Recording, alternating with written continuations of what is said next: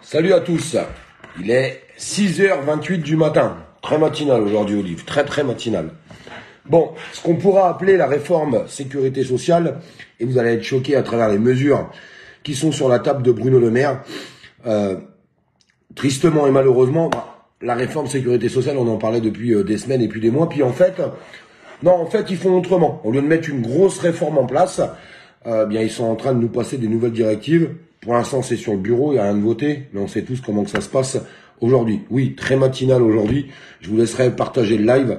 Euh, c'est parce que je peux pas vous le faire ce soir. Je serai en rendez-vous, donc impossible. Et c'est important qu'on parle de ça là dès ce matin. Et j'espère que ça va réagir parce que franchement, c'est ahurissant. Alors, réforme de la sécurité sociale, arrêt maladie déjà sur les jours de carence. Écoutez bien ce qu'il y a sur la table de Bruno Le Maire par rapport aux jours de carence, mais écoutez bien la suite parce que c'est vraiment la suite qui est encore pire malheureusement. Bisous à tous euh, de ce bon matin. Très concrètement. Alors pour l'instant, le gouvernement n'a pas donné de chiffres puisque ça sera discuté dans quelques jours avec les partenaires sociaux, mais on pourrait se diriger vers 4 voire 5 jours de carence en cas euh, d'arrêt maladie dans le secteur privé avec une demande très importante de la part du patronat qui souhaite sanctuariser ces jours. Ça veut dire quoi concrètement? Ça veut dire qu'ils ne seraient pris en charge par personne, ni l'entreprise, ni les contrats de prévoyance, et ça c'est un gros changement. Alors c'est quand même incroyable ce qu'ils sont en train d'expliquer. Ils sont en train d'expliquer qu'ils voudraient passer les jours de carence à 4 à 5 jours. Donc c'est-à-dire quand tu as une grippe ou une gastro, on sait tous, euh, bah tu as un arrêt maladie d'une semaine. Eh bien 5 jours, jours de carence, c'est-à-dire plus payé. Incroyable, mais vrai. C'est sur le bureau de Bruno Le Maire. Ça paraît dingue, hein ça paraît vraiment dingue. Mais c'est pourtant la réalité. Euh, ils sont en train de travailler là-dessus. Mais attendez, c'est pas le pire. Malheureusement, j'aurais préféré que ça soit le pire. Je ne vais pas vous mentir. Le pire pour moi, c'est ça. Écoutez bien ça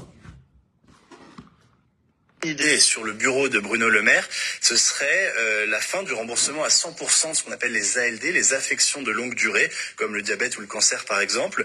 Euh, c'est un dispositif, ce remboursement, qui concerne 13 millions de patients en France. C'est énorme et ce chiffre continue d'augmenter considérablement avec le vieillissement de la population et aussi, aussi les, progrès de la médecine, il faut bien le dire.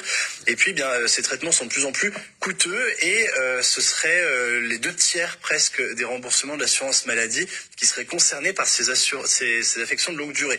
On parle de 110 milliards d'euros en 2020, donc c'est une enveloppe qui est énorme. En revanche, l'annonce euh, d'une étude sur la fin du remboursement à 100% euh, de ces affections fait l'unanimité contre elle, surtout chez les médecins. Et il y a une coïncidence en particulier qui me trouble, c'est qu'au moment même où on envisage de faire des coupes sèches sur ces maladies, eh bien, on s'apprête à légiférer sur la fin de vie pour permettre le suicide assisté, l'euthanasie, tout ceci étant pour le coup entièrement remboursé par la sécurité sociale. Qu'est-ce que vous voulez dire? Eh bien, Romain, que si on regarde les choses avec un peu de cynisme, les choix qu'on est en train de faire pour l'assurance maladie tendent euh, à diminuer la contribution solidaire de la société pour la prise en charge de ces maladies qui sont très coûteuses, tandis que dans le même temps, on va offrir sur un plateau d'argent à certains patients la possibilité d'en finir euh, sans avoir à débourser un sou de leur poche. Alors, vous vous rendez compte de ce qu'ils sont en train de dire? Ils voudraient mettre fin au remboursement à 100% que ce soit pour le diabète ou les cancers, enfin des maladies qui sont très très graves. D'ailleurs, le cancer, il suffit de regarder un petit peu euh, ce qu'a dit le professeur Raoult il y a quelques mois. Je pense que vous vous rappelez tous par rapport au cancer. Je vais pas aller plus loin pour pas que la vidéo saute, mais vous êtes en train de comprendre ce que je suis en train de vous dire. Ils sont en train d'expliquer que les gens euh, ne seront plus remboursés à 100% pour le diabète ou le cancer. Alors comment ils vont faire? On est en train d'expliquer qu'il n'y a que les gens qui ont des moyens aisés qui pourront se soigner. Par contre, l'euthanasie, ça c'est gratuit, ça sera remboursé à 100% par la sécurité sociale. Vous vous rendez compte quand même du truc? Sincèrement. Il y a combien de diabétiques en France? Il y a combien de personnes qui ont euh, des cancers en France ou d'autres maladies? Bien plus graves Mais on s'en va où là? On s'en va où? Sans déconner. C'est un délire total. Vous imaginez que en fait tous nos acquis J'arrête pas de le répéter, mais c'est malheureusement ce qui est en train de se passer. Nos anciens se sont battus pour qu'on puisse avoir ce modèle social en France. Ils sont en train de toucher à tout. Ils ont touché à la retraite, réforme chômage, réforme RSA, aujourd'hui sécurité sociale, travail. Mais on va où là? On va où? Et tristement, je trouve que on a encore trop peu de monde à la ramener. Sans déconner. Je sais pas ce que vous en pensez. Merci de partager un maximum les choses. Aujourd'hui, c'est même plus un problème de revendication. On va arrêter de se mentir, les amis. On ne peut pas dire que c'est un problème de revendication aujourd'hui. C'est un problème de gouvernement. Un problème de système. Parce qu'il y a le gouvernement qui est là, puis il y a ceux qui sont au-dessus, qui tirent aussi les ficelles. Faut pas l'oublier. Je vous ferai quelques vidéos d'ailleurs sur BlackRock et ce qui s'ensuit parce que c'est important qu'on en parle aussi de tout ça. Merci de partager l'information parce que je suis pas certain qu'on en entende beaucoup parler. Alors si on risque d'en entendre parler quand la loi va arriver à l'Assemblée et puis qu'elle sera malheureusement votée, comme d'habitude, à travers tout ce qui se passe aujourd'hui. Parce que pour les gens qui me racontent qu'il y a encore une opposition aujourd'hui en France, ça me fait doucement rien. Très honnêtement. C'est quand même incroyable et effroyable ce qui est en train de se passer. Je sais pas si tout le monde prend conscience de ce qu'ils sont en train de faire. C'est vraiment... Ils sont en roue libre. Ils sont en roue libre total. Mais total. J'espère qu'on va réagir au bout d'un moment. J'arrête pas d'en parler en ce moment et je me dis que la solution elle est peut-être là. Ils nous attendent dans la rue pour se faire massacrer, se prendre des amendes ou des peines de prison ou tout ce qui va avec. Est-ce qu'un jour, je vous pose cette question et je vous demanderai de répondre dans les commentaires et je regarderai après, puisqu'on n'est pas beaucoup, c'est normal, il est 6h30 du matin. Mais je vous laisse partager un max le live. Est-ce qu'un jour on sera capable de tous se dire, on reste à la maison, on va plus travailler, on va arrêter de les nourrir, ces gens-là, parce que c'est nous qui nourrissons ces gens-là, ce sont des improductifs. Est-ce qu'on serait capable d'être assez en France pour dire on reste à la maison, stop, ça finit, c'est fini, et on reprendra le boulot quand vous allez dégager. Point final. Chacun a le droit de penser ce qu'il veut.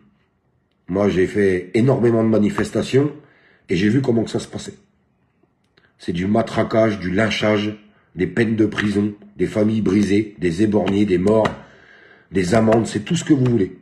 Et en plus, ils se sont armés à travers tout le matériel qu'ils ont pu acheter. Je pense qu'ils nous attendent dans la rue et est-ce que c'est vraiment la solution la rue? Est-ce que la solution, c'est pas de se dire à un moment donné, eh bien on va fermer les robinets. On va fermer les robinets. On reste tous à la baraque et on ne va plus bosser tant que ces gens-là ne dégagent pas. Je sais pas ce que vous en pensez. Je sais que c'est compliqué. Je sais que ça engage beaucoup de choses. Je sais que ça engage des sacrifices. La rue, on a essayé, on a vu ce que ça a donné. Qu'est-ce qu'on fait alors? On fait rien? On subit? On la ferme? Bah je sais pas vous, mais moi j'ai pas envie de la fermer. J'ai pas envie de la fermer. Est-ce qu'on pourrait pas travailler sur cette nouvelle idée? Beaucoup de personnes en parlent, de plus en plus. Et moi, m'en avais déjà parlé il y a plus de deux ans. Un mec à Nice qui m'en avait parlé. Je trouvais ça fou à l'époque. Puis aujourd'hui, je trouve ça super intelligent en fait. Tu bloques l'économie. S'ils dégagent pas, on redémarre pas l'économie et ils peuvent rien te faire. Ils peuvent rien te faire. Par contre, ça engage une certaine organisation, je suis d'accord avec vous. J'essaie juste de trouver des solutions.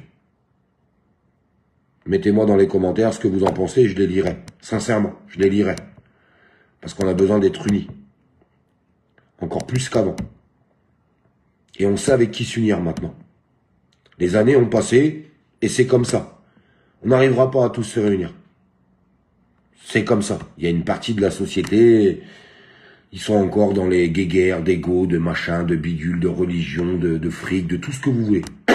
Moi, je m'en branle de tout ça. J'ai envie d'avancer avec les gens qui ont envie d'avancer. Et il y en a encore un paquet dans ce pays qui ont envie d'avancer. Et qui sont pas là à dire Ah ouais, mais c'est Oliva, mais c'est Sébastien, ah, mais c'est Jean-Christophe, ah, c'est gna gna. Des gogoleries, je crois qu'on n'a pas besoin de gogoleries en fait ensemble. On a juste besoin d'avancer ensemble. Mais avancer correctement. Trouver des solutions et les mettre en place. Se structurer. Parce que c'est pas possible. On peut pas les laisser faire. Ils sont en train de tout bousiller. Ils sont en train de tout nous prendre. Mais tout, à 100%. Il va falloir que ça s'arrête. Il faut que ça s'arrête. Parce que eux, ils vont pas s'arrêter. Et les seules personnes qui peuvent les arrêter, c'est nous, citoyens. Je suis désolé de vous le dire, mais si vous attendez que les politiques vous sauvent, je pense qu'on va attendre longtemps. Si vous attendez que les représentants syndicaux vous sauvent, je ne vous parle pas des syndiqués, vous savez ma politique là-dessus. On va attendre longtemps. Vous savez, les partenaires sociaux, ils sont consultés à travers tout ce qui se passe aujourd'hui. Et ils bronchent pas. C'est du blabla. C'est de l'opposition à deux balles pour moi. C'est de l'opposition à deux balles.